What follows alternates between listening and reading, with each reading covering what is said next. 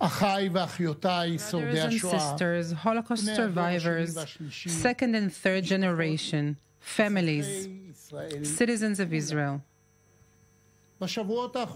In the past weeks, it seemed that the world came to a halt. Fighting the coronavirus is currently dictating our lives, going from one news program to another, one set of instructions to another. And so, to my regret, we're not gathering tonight as every other year at the Warsaw Ghetto Square at Yad Vashem. However, those present day threats must not overshadow the memory of the past. We are committed to this memory. We remember. We will continue to remember for our sake and for the sake of future generations.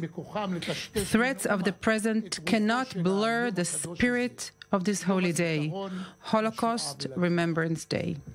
Even at this difficult time of dealing with the world pandemic, in the midst of the current anxiety, we are attentive and making room for the memory of the past, the victims, and to you, the survivors. You who have survived the darkest time of humanity a Holocaust that men did to men. Exactly 75 years have gone by since the gates of hell opened. In the spring of 1945, several months after the furnaces of Auschwitz were turned off, the sun came out over Bergen Belsen and other camps. For six million of our brothers and sisters, this was too late. When the liberating troops entered these camps, they faced purgatory itself, scattered bodies and people's shadow walking alongside, Muslims, the living dead, starved, thirsty, exhausted, and ill. Their family members were murdered, burnt, slaughtered, or gone they lost everything. They lost everything, even the ability to cry.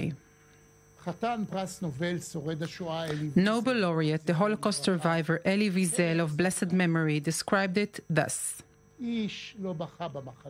No one cried in the camps, as if you were afraid that if you start, you'll never be able to stop. Freedom for us will be the ability to cry again. This is what Wiesel said. Citizens of Israel, it was the spirit, the human spirit, which triumphed over the Holocaust. The Nazi monster defeated the body, but not the spirit. At the roots of tears, at the depth of hell, in a crumbling world that shows no solidarity, when death awaited every day, our brothers and sisters risked themselves to save those who were weaker than them. There isn't a single Jew who survived this terrible Shoah without the assistance of a hand that was reached by another Jew another person. Persecuted Jews, with nothing for themselves, showed courage resourcefulness, humanity, and saved life. They proved over and over again that it is a man helps man world. They proved that even at your lowest point, you can and you should choose to be men. Hold on to the fundamental Jewish value of life, sanctity, of solidarity. They knew that if they will not commit to the basic values of the Jewish people, mutual responsibility and solidarity, their humanity will be lost even before it is killed and annihilated. And so they became angels, angels in the midst of hell. Last January, Leaders from around the world convened here in Jerusalem to express their mutual commitment to teach the historical facts and lessons of the Holocaust to future generations. We recognize the simple truth that we must stand united, all world leaders and world citizens, fighting racism, anti Semitism, and fascism, protecting democracy and democratic values.